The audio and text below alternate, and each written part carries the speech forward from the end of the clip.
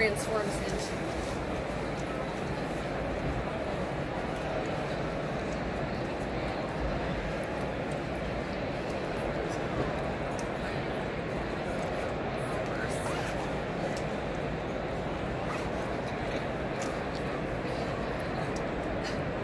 Okay.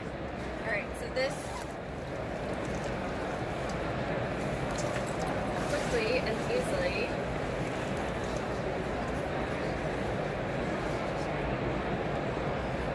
Are you videoing this? I am. I can speed it up though. Yeah, it's gonna have to be sped up because I have not transformed this one yet. Let me show you. Oh, come on.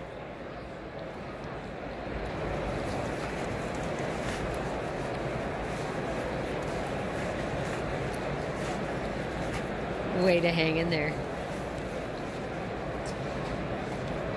Ah, everything's all buttoned up. All right, one more. it's a lot of pressure, Jill. You can do it. I have faith. Tote bag.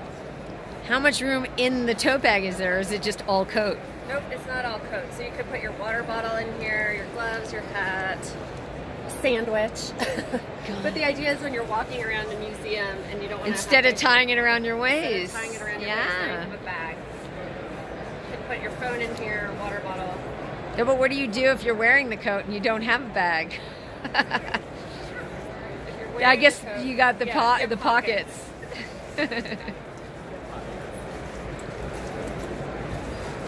People have to retrain themselves not to go out with an extra bag. Yeah.